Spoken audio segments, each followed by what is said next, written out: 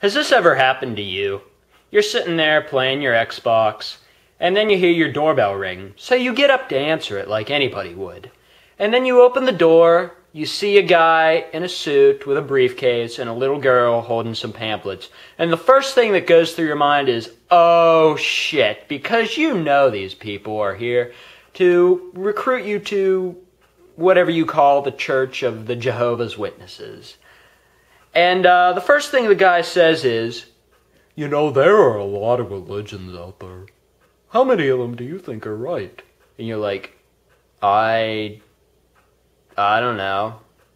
I'm not, you know, God. I have no clue.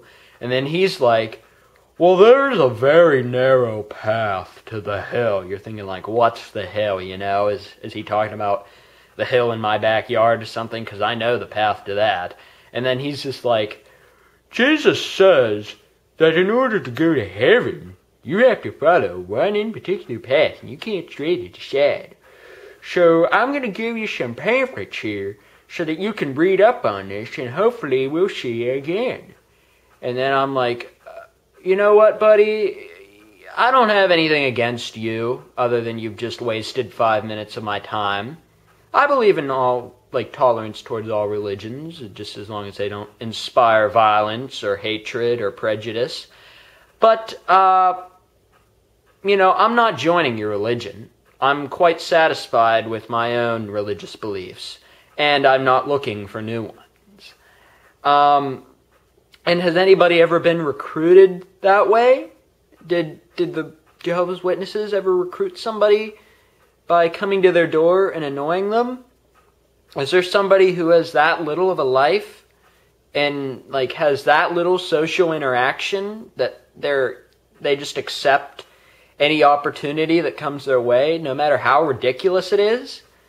I mean, seriously, um, it's just ridiculous. Uh, unless you're a close family member or friend or you're the UPS guy or you know you're here to deliver some Publishers Clearing House um, check which I hope would happen but it probably won't. Then I don't want you coming to my house. I have my own things to do and if you had any form of a life so would you.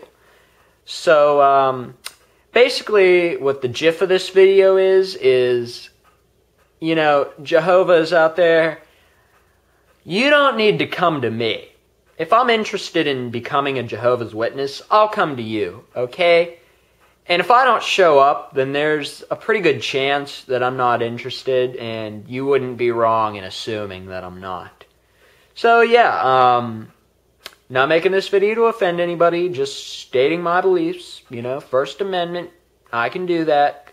Um, so yeah, uh, feel free to leave your opinion about that. Um, give me a video response, comments, whatever. See you later.